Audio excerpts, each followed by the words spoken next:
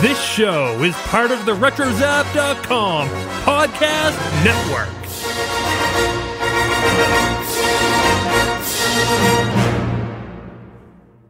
And welcome everybody to episode 76 of the Animaniacast.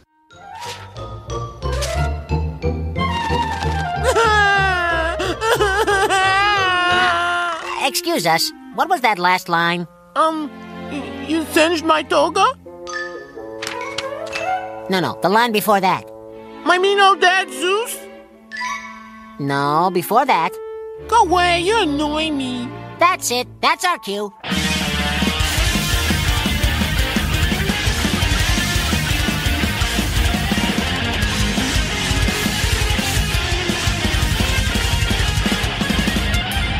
And welcome once again to the Animaniacast. We are the only podcast out there that's dedicated to the animated television series Animaniacs. And here we explore the series episode by episode. We explore all the cultural references and gags that we can find. And uh, in the end, we give each episode a Water Tower rating. I am Joey, and joining me once again is my brother Nathan. Ooh, Technicolor. And joining us across the country is Kelly. Me. Come on, Kelly. Let's try. I'm gonna do this with a little more enthusiasm. Come on. I'm just not feeling it today. Uh, okay. You just want to forget this podcast? Yeah. Sure. Okay. Well, good night, everybody. Right. This podcast is not endorsed by Warner Brothers or Amblin Entertainment and is intended for entertainment and information purposes only. Animaniacs, the Warner Brothers logo, all names, pictures, and sounds of the Animaniacs characters or any other Animaniacs related items are registered trademarks and or copyrights of Warner Brothers, Amblin Entertainment, or their respective trademark and copyright holders. Oh, wait, we're doing it real. We're doing it. Real. We're I back. We're back. Deleted all the show notes. Oh, when- Nathan. Uh, don't worry, I'll rewrite it. I'll give fast. Okay, good. Thank you, Nathan. Get writing. Well, we're just we today. Welcome back, everybody. Today we're going to be talking about episode seventy-six of Animaniacs, which, of course, includes the segments "Gimme the Works," "Buttons and Ows," and "Hercules Unwound." So, tell me, uh, guys, and uh, if someone were to ask you in a few words, what do you thought about this episode? What would you tell them, uh, Nathan? Um, it's not your typical Animaniacs episode, I guess. Yeah. And Kelly, what about you? I thought there were a lot of references in it. there were, uh, but yeah, it was definitely like Nathan said. It's definitely different, um, and it's No, no different. Only different in your mind. you must unlearn what you have learned. no. uh, I, I that see, I, I would have never thought the word "different" would have would have uh, pulled a Yoda quote out of Kelly, but I, I Oh, have, please. I should have known better. Yeah, there's. I have like this whole list of like trigger words, and it it drives people crazy. a lot of a lot of the the ones that I end up doing are from Indiana Jones, though. That happens to me as well too. Especially like I don't know, like well, I hate to say it, but the one that probably gets the most triggered for me is from Crystal Skull. Since I'm a teacher, my wife and I usually quote that stupid line from Shia LaBeouf where he goes, "You're a teacher," and he goes, "Part time." But yeah, My favorite line from Crystal Skull was when they they're talking about how he met Pancho Villa and um oh yes, catch- and because not a lot of people know this, but that was a reference to Mexico 1916, which was the second half of the pilot episode of the Young Indiana Jones Chronicles. starring of course. Sean Patrick Flanery. That's right. And I will be getting I will get a chance to um at least see Sean Patrick Flanery at the upcoming uh Phoenix uh Comic Con or Phoenix what do they call it? Comic Fest this year. Um and uh yes, so I will be there covering the con for Retro Zap and the Animaniacast. So if you see me over there, folks, um don't throw anything at me. And uh, chances are, if you see me, I'll be wearing an Animaniacast shirt or a Retro Zap shirt. And I was uh, gonna say, are you gonna wear something identifiable? Oh yeah, yeah, exactly.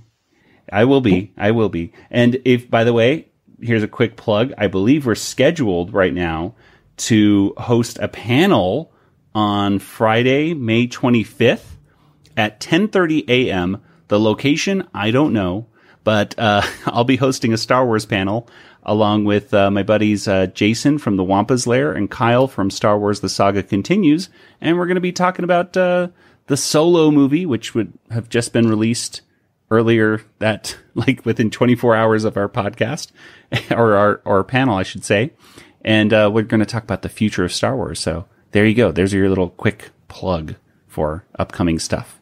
So Phoenix Comic, Comic Fest should be a great time. Um, it always is. I- I'll be there for at least two or three days. Nathan was there last year. You had a lot of fun with me and Jason. Yeah, right? it was very fun. yeah, good times. and yes, go got to go see Sean Patrick Flanery and Tim Curry. That'd be awesome. And the and the voice of Belle is going to be over there too. She'll be over there, and Oh, is Tim Curry gonna be there? yeah, Tim Curry will be there. Oh and, my uh, gosh! And let's I, see, yeah, I love him in Annie. and it, I mean, was I he know- the villain in Annie? yes, yeah, he he was Miss He's Hannigan's always brother. the villain.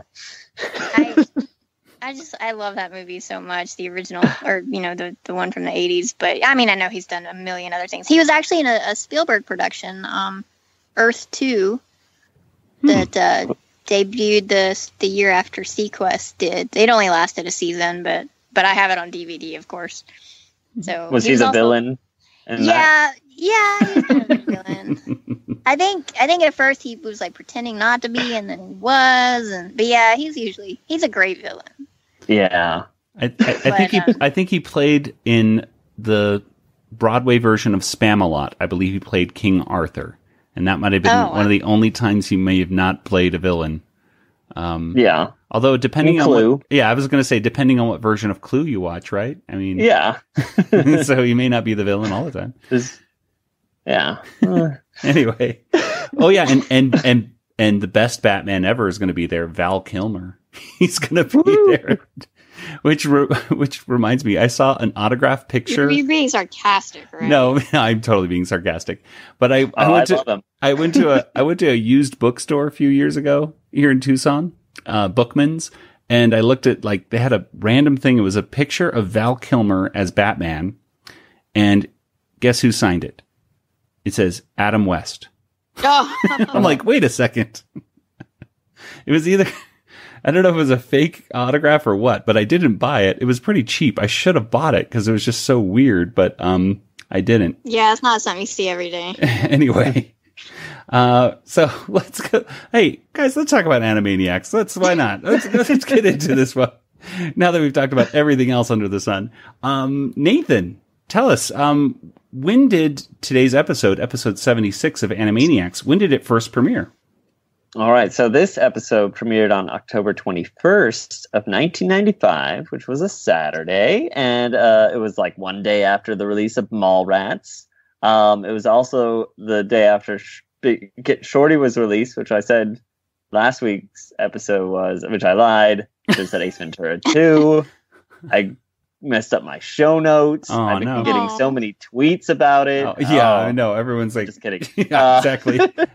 They're messaging remember you when at Django Shorty came FT. out. Jingo FT, message Nathan with all the incorrect stuff. Do it.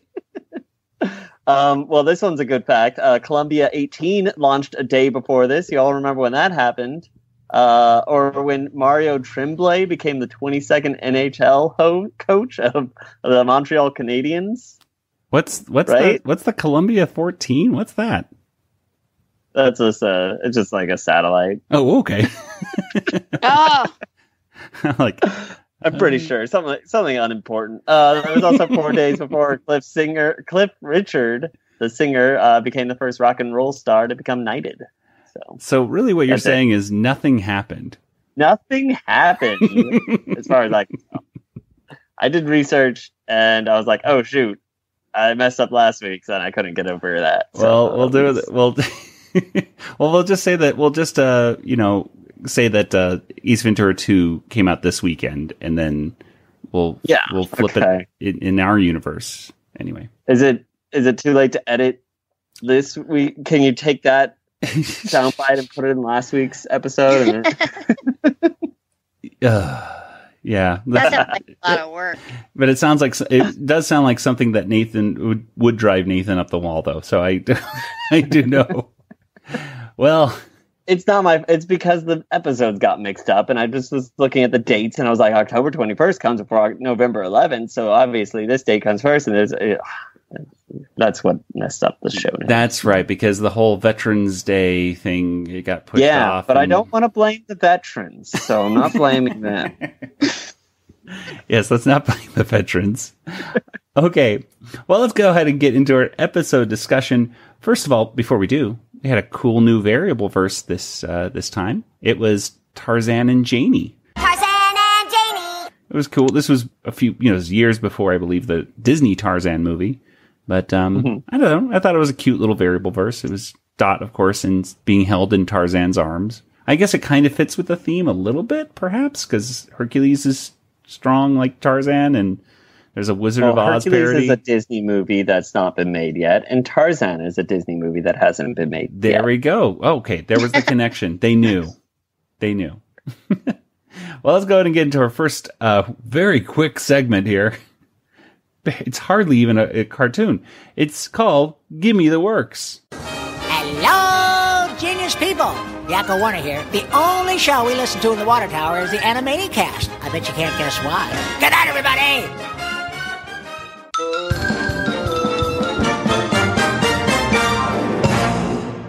And Gimme the Works was written by Peter Hastings and it was directed by Audu Paden.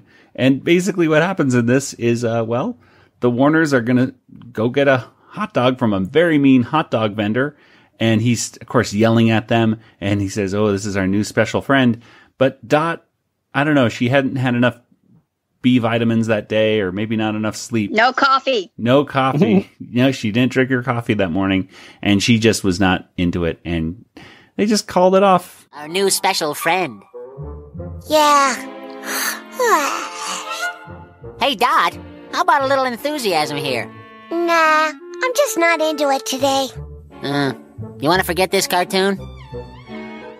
Sure. Let's go. Hey! Hey, come back!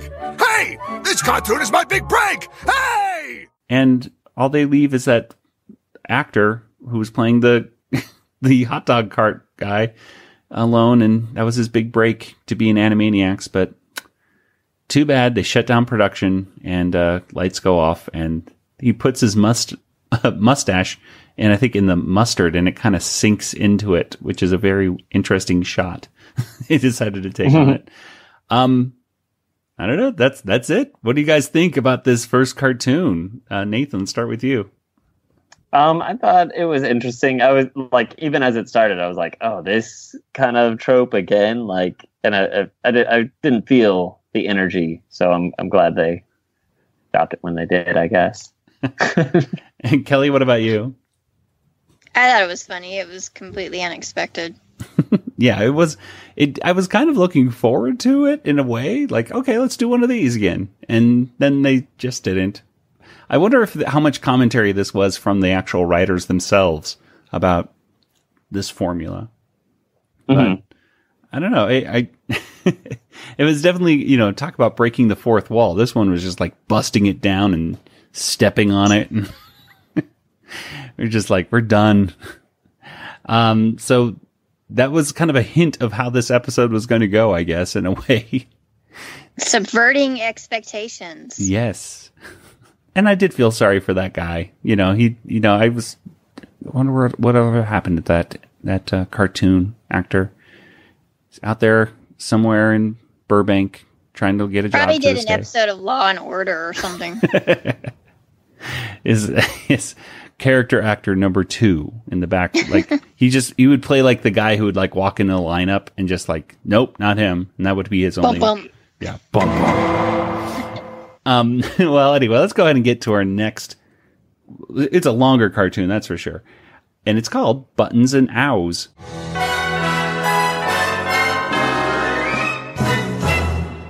And Buttons and Ows was written by Peter Hastings, and it was directed by Audu Paden and Barry Caldwell.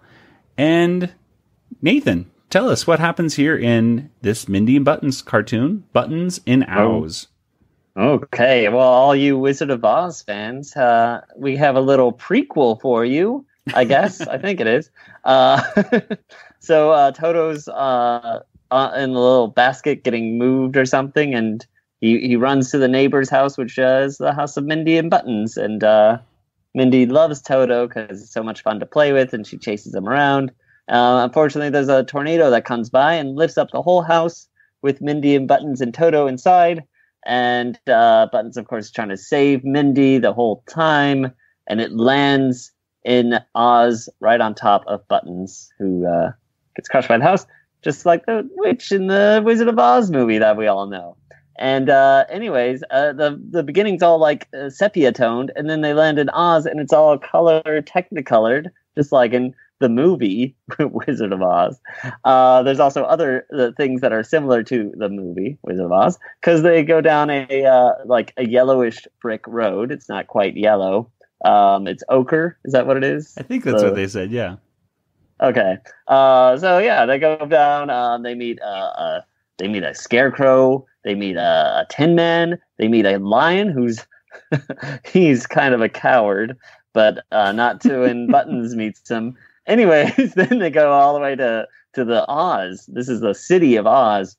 Uh, Mindy is able to get inside by asking uh, why a bunch to the doorman. Uh, then she meets the powerful wizard, which hey, spoiler is the brain. Uh, so then they jump into the little uh, wicker basket, which is uh, for the hot air balloon, and it takes them all the way back to their own uh, city. And uh, there we go. That's uh, basically the end. Uh, Buttons gets yelled at for being mean to Toto, and that's I think that's everything. There we go. Yeah, and, and and yeah, like Nathan said, the biggest reference was, of course, the 1939 film, not Gone with the Wind, Kelly, but Wizard of Oz. They had the same director. You're kidding me? The Wizard of Oz and and the Gone Well, with the Wind yeah, directed Gone- by the same person? Gone with the Wind actually had three directors, um, uh, but Victor Fleming was one of them, and Victor Fleming directed The Wizard of Oz. That is crazy. I had no idea. I know they were like the two competing films that year for like Best Picture or something. I think, right? Yep. Eh, anyway. Well, anyway, um, this was, I like how Nathan, you said this was like a prequel because it really was kind of like a prequel this to the events. It was kind of like, Mm-hmm. it was like the one Wizard of Oz gets kicked out and then the, the other one gets put in. So that, you know, the brain got brushed back to Kansas or whatever. Yeah, I assume that doorman is like the wiz. Like he's he turns into the wizard, right? Like that's the same doorman. Like doesn't the wizard play the doorman? in- Yes. in the movie. I can, There you so go. he's Yeah. probably just like, oh, the hey, look at all this stuff I can play with and everything, and you know, and the witches are all still there. They don't they don't attack any of the witches, so it doesn't doesn't actually hurt any of the original plot to the story. So Yeah, I never thought of it that way. There you go, Nathan. You filled in a plot hole of exactly why that doorman is the same guy who plays the wizard. It's now he has to play two different parts in the land of Oz. Who rang that bell? Hi, Mr. Doorman. What you doing? I'm guarding the door and you can't come in. Not no way, not no how. Why? Cause I'm the boss of these things. Why? Cause that's my job. Why? Cause, uh. Oh, all right, come on in. Okay, I love you. Bye-bye. Uh, There we go. After uh, talking with uh, Charles M. Howell and having hooked on a ceiling in my head, I just, uh, you know, hearing Rob Paulsen doing that doorman voice again was funny. Yeah, that made me think of it too. Let me in! Let me in! Nobody gets in to see the wizard. Not nobody, not no how. But I'm Michelangelo. The witch is Michelangelo? Well, now that's a ceiling of a different color. I guess really the only uh, real reference to some stuff was uh, kind of like some cartoonish references. There was a wily coyote uh, flying around in his, I think it was like a Batman suit in that original Roadrunner coyote, you know, and coyote cartoon. He's Mhm. caught up in the in the tornado at the very beginning. Um, there was a lot of cows in the in the Twister, but this was before the movie Twister. There used to be, it seemed like around the mid to late '90s, there was cows and twisters on every single pop culture joke ever. Um, that movie Twister was such a such a hit that I never really saw all the way through because the movie kind of bored me. But Ahem. Do you know who one of the executive producers of Twister was? uh, could it be Steven Spielberg? Uh, yes. So maybe I maybe thought it was Kelly. So, And then, so uh, do you want to rephrase what you just said? well, maybe he saw this episode of Animaniacs and then he said, "Oh, that's that's it. Let's go for that cow in." Let me just double check on that real quick. Twister. When was Twister movie released? 1996. 1996. A 57% rating on Rotten Tomatoes. So, yeah. Ooh. it was it was a fun movie. You remember it? I remember it. The cow? Yep, the the cow got a big part. It was a, you know, that cow was everywhere. He, he went on a cross country tour. They just had to blow him around the country, and he was there. Um, anyway, so there was the cow and the thing, and I guess there was a little bit of a cartoonish thing when uh, Buttons does his little snap to the to the cowardly lion, and you know makes the cowardly lion not so cowardly. He s- scratches him up. That looked like a very. I, I couldn't place exactly which cartoon or cartoons it was referencing. Um, I know some people have said kind of a Tom and Jerry thing, and other people, I, to me, it just kind of looked like Looney Tunes ish kind of thing. Um, but I, yeah, I, can see that happening to Daffy Duck or something. Yeah, it looked like a Daffy Duck. Like I know I've seen a cartoon where like the uh, a wild tiger or monster, or something, you know, like a cat, like a lion or a tiger, does swipe, swipe, swipe, swipe, swipe, swipe, swipe, and then chops them up into little, you know, pieces. But I just don't know what you know, listeners. I'm sure they have a, we have you know cartoon experts in the crowd, so they and can there's let us multiple know. cartoons that it happens in. I'm yeah, sure too. But yeah, but it definitely sounds like something that would happen to Daffy or Sylvester or, or you know Tom from Tom and Jerry or something like that, or all of them. well, anyway, um, guys, what were some of your favorite moments from this cartoon? Uh, let's start with Kelly. What do you what were what did you like? I liked how the color did change, just like in the, the movie The Wizard of Oz.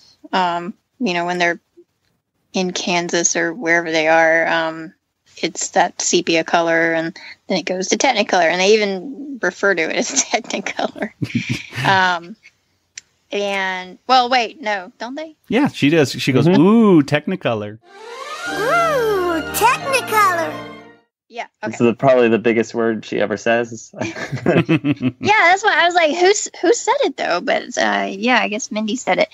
I liked how they they really you know caught the the mood I, I and feel of, of the Wizard of Oz. You you could definitely tell that they were referencing the film, you know, almost shot by shot in some instances, but they co- sort of made it their own because none of the the lion, scarecrow, and Tin Man they they didn't talk. They weren't characters. They were more like props in the the cartoon. Uh, but it was really well done the way they they paid tribute to the film. it really kind of felt like they were like Mindy was just too early for the show to start or something like that. You know what I mean? Like the the scarecrow, it really again to go to that prequel idea. it really kind of felt like the scarecrow like, well, the scarecrow can't talk everything and do and the and the tin man can't talk and everything right now because it's not time for this to happen. you know? So instead Mhm. they'll just be obstacles that just fall on you or you run into things like that. I don't know. That that was weird. What Nathan? What what do you or think? Dorothy's just crazy, maybe, and just is hallucinating these, and just talking to inanimate objects could be too. Just Well, carrying them around everywhere she goes. See, now you're going to the return to Oz theory right there. I was about to say that. I was like, no, she they thought she was crazy and Return to Oz. Have you ever seen? that was a that was a George Lucas produced film, um, which was freaky and scary, and I liked it. I man, that movie was scary. Do you remember that movie at all, Nathan? yeah, that's a freaky movie. The, Oh, the man. monkeys, or the equivalent to the monkeys, were really weird. The Wheelers. like bicycle people. Yeah, like Wheelers what? were terrifying. Ooh, The Wheelers with heads on their top of their head or something, and then the place where like Ozma, I think it was, where the, all the heads were everywhere. And Oh, yeah. They all scream and oh, and uh, TikTok was cool. Um, Oh yeah. Mm-hmm. I uh speaking of which, I talked to um oh gosh, now I'm forgetting his name. He uh, is the puppeteer who did Admiral Ackbar. Um, Tim Rose. Tim Rose. Tim Rose. He did Tim. Uh, he did uh, Admiral Ackbar, and he also did Salacious Crumb. And I met him over at Star Wars Celebration, and we just started talking about puppets and Muppets and everything like that. Since he has worked with, uh, he's you know he he's done Muppets for many different Muppet movies, and he was talking about Return to Oz, and I guess he was still in a Salacious Crumb attitude because he said underneath TikTok's foot, he wrote on it something to ha ha ha Salacious was here or something like that. so, so Nathan, what do you like about the episode? Uh, I liked the animation in it. I thought that was pretty good. I like it. The button looked pretty cool in it, and then uh, I like that Pinky and the Brain were in it. It was just fun to see them uh, make a cameo. That was a laugh out loud moment right there for me when I, I and I don't know why I didn't see that coming. I am the brain, the great and powerful brain. The brain looked like perfect with with that uh, Mhm. with that fire because of course the the original one has such a big head anyway that it made perfect Mhm. sense to put the green brain right there with all the smoke and everything around him. I just thought that was genius, just perfect. His Brain is the genius. is that what we're saying? Uh, yes. I just like that he probably built that. Thing. Like it's just, it's so cool because he's a good he's a good inventor. So exactly. We're we're going with the prequel idea again. Okay, gotcha. yeah. Well, uh, yeah, it's it's a it's a very fun cartoon. I mean, there was little weird things in it that I still don't quite understand, like why the the Witch of the East, or was it the Witch of the North? That's what it was. The Witch of the East gets you know killed in the original in the movie, but the Witch of the Mhm. North in this has a her pink dress on, and then her crown has like a merry-go-round or something like that attached to the top of her hat hat or It something. Might be a Beetlejuice reference. I think it's a similar hat to Oh Beetlejuice. yeah, it does kind of look like Beetlejuice. That one little weird uh, outfit that Beetlejuice does wear. Which again, I Mhm. don't, I don't know why they would do that, but it does kind of look similar. But whatever. Let's go ahead and move on to our last cartoon for today. This last segment here is called Hercules Unwound.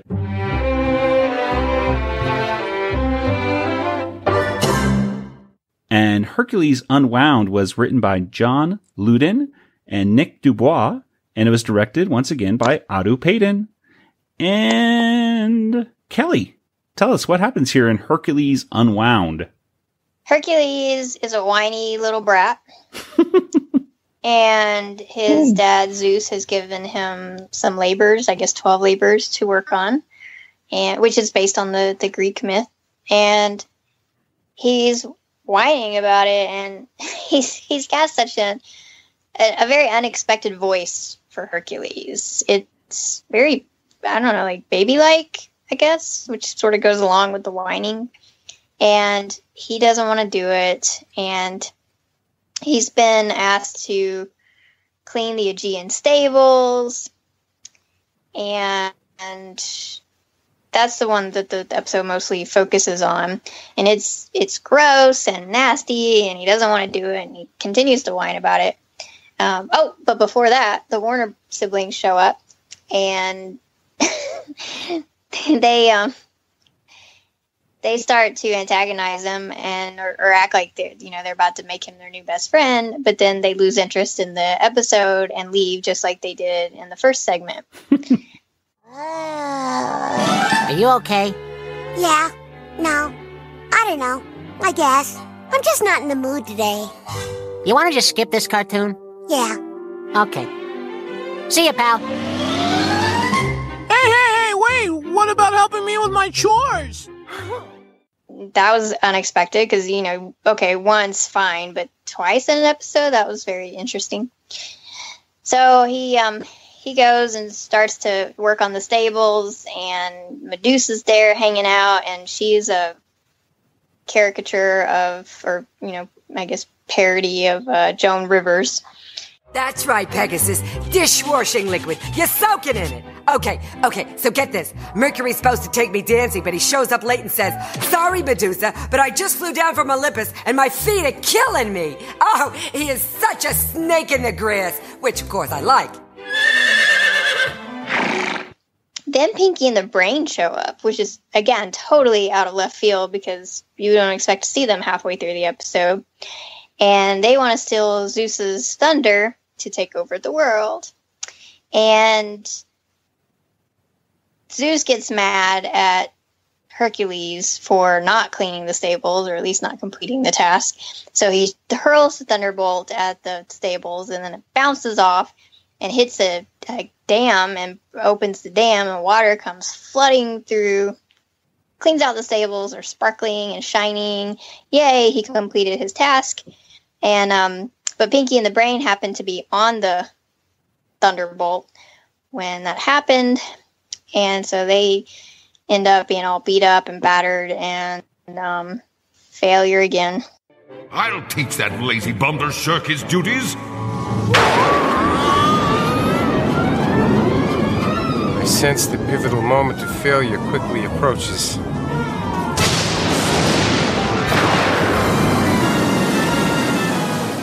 Yeah, so they don't take over the world. They don't get they don't get his bolt of lightning or anything like that. It was the the title itself, Hercules Unwound, is kind of based upon an actual Hercules film called Hercules Unchained, and um, I've seen that film. It was on Mystery Science Theater many times, or at least rerun many times. I think you can probably see it on Netflix or Pluto TV right now. Uh, It put me into the mind of Prometheus Unbound. Oh, well, there's a lot of un, there's a lot of things happening to these Greek heroes back then. They're they're always getting unbound or unchained or whatever. uh, but but either way, it's it's um it's kind of a nice title right there, referencing a lot of those kind of old mythological movies of of the day. There was some a couple quick references to actually commercials of all things. I mean, you mentioned Kelly Joan Rivers. She mentions dishwashing liquid. You're soaking in it. And that's a reference to old Palmolive dishwashing liquid commercials. And I actually watched one today. It was involves a woman going to a manicure, uh, you know, place. I think it was all the way back from 1981. It just came from a rummage sale, Madge. I was wondering where you got these hands. Oh, it's dishwashing. What'll I try? Everything. And use Palmolive dishwashing liquid. It softens your hands while you do the dishes. You're soaking in it. In dishwashing liquid? it's Palmolive? And of course, she she is accidentally putting her hands into this dishwashing liquid at the nail salon. So apparently, it was a famous commercial. I was too young to remember this commercial. Yeah, I don't I don't remember that, but but it sounds just like a commercial that would have come on when I was watching Days of Our Lives. Oh, totally, totally. And thank goodness they're they're phasing these kinds of commercials out these days, where it's the you know the the house. Who watches commercials? Well, that's very true. the other commercial, the other reference, I should say, is to another commercial, and that is to a Taster's Choice commercial. And Hercules and Joan Rivers, or Medusa, are drinking coffee at one point, and Hercules says, Come celebrate the moments. and that is very similar to the Taster's Choice commercial. Uh, because at the end of each commercial, they would say like, celebrate the moments of your life at each commercial. General Foods International Coffees. I loved that waiter. Jean Luc. Oh my I do gosh. remember that one. Yeah. Like, oh, I, I used to think that was really good coffee too until my mom told me, no, don't. I, I think I bought a, bought some of that for my mom once for like her birthday or Mother's Day. Oh no. I was thinking, well, this must be like all these women on these on TV love drinking this stuff, but it's like hot cocoa. it's like the equivalent of like mixing it up and it's yeah, instant coffee's gross. Oh, oh, I've never had it. Hercules is taking a coffee break. Where's my lightning bolt? Zeus kind of looked like uh, Orson Welles of all people. Uh, it was kind of sad that uh, Maurice LaMarche couldn't do a double. I guess it would have been too confusing if he did the voice of Mhm. Zeus and the brain, um, since it's essentially the same voice for Orson Welles. But that Zeus looks so much like Orson Welles. It's it's it's ridiculous. Uh, Nathan Kelly, what do you guys think? Uh, what were some of your favorite moments of this cartoon? Nathan, start. Uh, let's start with you. I, I just like the whole uh the entrance of the Warners saying like, "Is that our is that our cue?" Like, no, no, that's it. That's not it. Like, you know, and then not until Hercules says, "Oh, you're bothering me." Like, there we go. That's our cue. it's kind of cute. Um, and then uh, just and then they come back at the end. So it, it is a nice like confusing thing of whether it's a a Warner's or even a a Pinky in the Brain episode. It's nice, and they've uh, they did a good job of throwing in a lot of Greek mythology just kind of randomly throughout. So it's kind of fun.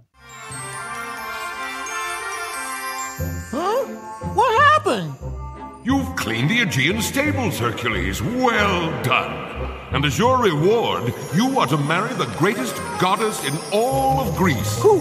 The goddess of love? The goddess of beauty? No, the goddess of cuteness. Aphrodite. And I did like Aphrodite.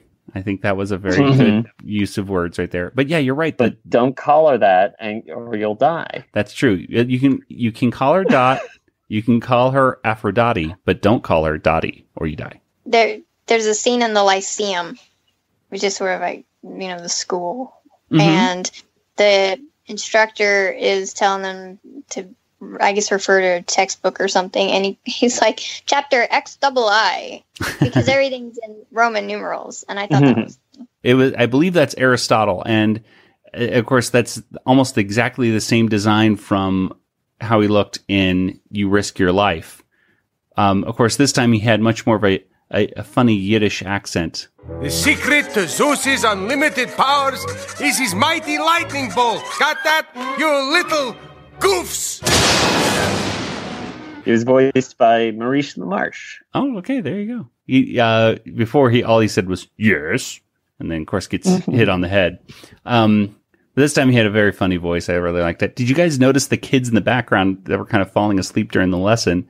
And then the second time watching it, I was like, "Hey, there's one of the kids is a cyclops. He only had he's, Oh. a, he's a big fat kid, and he's just kind of sitting in the back. And uh, yeah, he only had one eye, so that was kind of cool. I think I think Futurama has like uh, caused me not to even recognize Cyclopses anymore. I don't see eyes. I'm yeah, I don't count eyes anymore. You're very enlightened. Um, uh, overall, yeah, this was just a, a cartoon that really was unexpected. It went all over the place. Uh, it, it was uh, definitely different, and I kind of found, hate to say it, but I found Hercules' voice just a little too annoying. I know he's supposed to be annoying, but he's just too annoying to me. Mm-hmm. I don't know. Um, I don't know. Is there anything else you guys want to say about this uh, cartoon before we move on to our water tower rating? It, may be more accurate than the Disney cartoon. I'm not the, for Hercules. Well, when it comes to mythology, it was all fake anyway, so who cares, right? I mean, you just make it up. Right? Well, you can't prove it was fake. I Oh, that's guess. true. Well, before we get to our water tower rating, there's one more little short thing to talk about, and that, of course, is the return of the Wheel of Morality. It's that time again. To explore Rush Limbaugh? To share a pie with Newt Gingrich? No, it's time to learn the day's lesson. And in this Wheel of Morality, the moral is to be or not to be, that is the pencil. And I thought that was a very funny, um, little joke right there. A 2B pencil would be like a number two bold, if I'm not mistaken. I don't know. Mm, something. Yeah. but you know, these animators, in, you know, they, they love their pencils. It's, it's, you can see why this is on the top of their head. Tom Ruegger posted a picture of a pencil that he found on, on his Facebook page a few weeks ago. And it was just funny to watch all these different, uh, artists talking about pencils in the comment section. I thought it was very funny. That's all I thought about when I saw this moral. Uh, what did you guys think of today's moral? It was cute. talking about pencils makes me think of John Wick. Which I have not seen that either. I need to see both of those two movies. I need to see John Wick 1 and 2. I need to see both of them. So good. Yeah. Makes me think of uh, the, uh, Dark Knight. Why? Oh, because he was the the trick with the pencil. That's right. I'm like, when did I just think of when does Batman de- deal with a pencil? Oh yeah, the Joker did. Okay, okay. And I still have Val Kilmer in my head too, so that's always a problem when I'm talking about Batman. Uh, see, I'm in the mid '90s uh, of Batman right now with Val Kilmer in my head, so that's the problem. well, let's go ahead and get over to our water tower rating.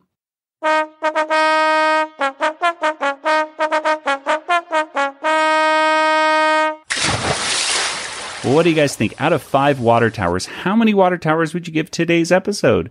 Uh, Kelly, let's start with you. I think I would give it uh, four. It was pretty strong in all of the segments and had some twists and turns and, you know, surprised us. So I thought that was really clever. And uh, I, you know, liked the um, Wizard of Oz reference and Hercules was pretty cool. It reminded me of the Disney Hercules in a lot of ways, but that's funny because that didn't come out for years later. But some of the animation and stuff sort of reminded me of that a little bit. But Mm. uh but yeah, I enjoyed it. Well, he was blonde. Both of them are kind of like that kind of blondish hair instead of Well the horse, dark brown. Pegasus. Oh yeah, Pegasus. We forgot a whole thing about Pegasus. I like the landing platform he landed on that looked like a helicopter landing thing in, in Mount Mhm. Olympus. Thought that was pretty cool. Um. Okay, so four water towers. Uh, Nathan, what about you? I'm gonna give it three and a half water towers because why not? No, uh, uh, I uh, I enjoyed all the segments. I don't think any of them like blew me away. I really, I really like the uh, Mindy and Buttons. I think that was really good. It's one of the stronger Mindy and Buttons, um, for sure. But the Pinky and the Brain was it just seemed kind of all over the place at times, and it kind of confused me. I think, but uh, overall, it was, it was a good episode. Uh, three and a half. Okay. Water towers. Well, I was going to give it three, but I'm, I'll bump it up to three and a half as well. I think, yeah, the, the Mindy and Buttons especially was, um, was one of the better Mindy and Buttons I think we've seen so far on our discussions. And I think just the, the fact that they did do something so out of the box is, is really interesting. I think it's, it, it, I don't, I can't think of any other cartoon that just did what this cartoon did. Not once, but twice. so, uh, I gotta admire the, the writers for doing that in this, uh, cartoon. So, the, you know, good job there. Well, uh, that'll do it for today's episode, but let's go ahead and get to some contact information. Nathan, where can people get in contact with you online? Oh boy. Um, Twitter. That's right. Um, I'm on Twitter, Joey. Uh, Django FT. That's me. All right. And Kelly, what about you? I'm also on Twitter at Yoda Princess, Y O D A P R N C S S. Or you can email me, Kelly at BigShinyRobot.com. All right. And as for the Animaniacast, we're on Facebook and Twitter and Instagram. And you can always email us, which is animaniacast at retrozap.com. You can share in your thoughts of episodes. You can also share some thoughts about Rob Paulsen, about if you uh, want to join in with the segment of Rob Paulsen is one of the nicest people on earth. Go ahead and send us that email, animaniacast at retrozap.com. And uh, speaking of retrozap.com, you can head on over there and see a bunch of different podcasts, videos, and articles every single day. It's a great resource for every single one of your pop culture interests. In fact, a great way to keep in, you know, keep up to date with all of that is simply go to iTunes or your favorite podcast player of choice and s- simply subscribe to the RetroZap feed, and you can get every single one of the podcasts delivered straight to your device for free. There's 21, possibly even 22 podcasts right now, so that's a that's a lot of bang for your buck, especially because that buck is zero. So, gotta go with that. With that, I think it's time to wrap things up. So, for Nathan and Kelly, this is Joey saying good night, everybody. Good night, everybody. Good night, everybody. For reals. For reals. This podcast is not endorsed by Warner Brothers or Amblin Entertainment and is intended for entertainment and information purposes only. Animaniacs, the Warner Brothers logo, all names, pictures, and sounds of the Animaniacs characters or any other Animaniacs related items are registered trademarks and or copyrights of Warner Brothers, Amblin Entertainment, or their respective trademark and copyright holders. All original content of this podcast is the intellectual property of the Animaniacast unless otherwise indicated. Ooh, enchanted manure. Kill it, kill it!